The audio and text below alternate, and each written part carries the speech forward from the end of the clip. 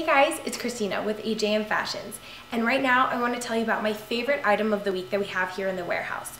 This week, it's the great pair of Isabel Marant black riding boots. One thing I love so much about them is the really sturdy sole that they have and the tonal stitching right here at the front. It adds detail, but it's not too much.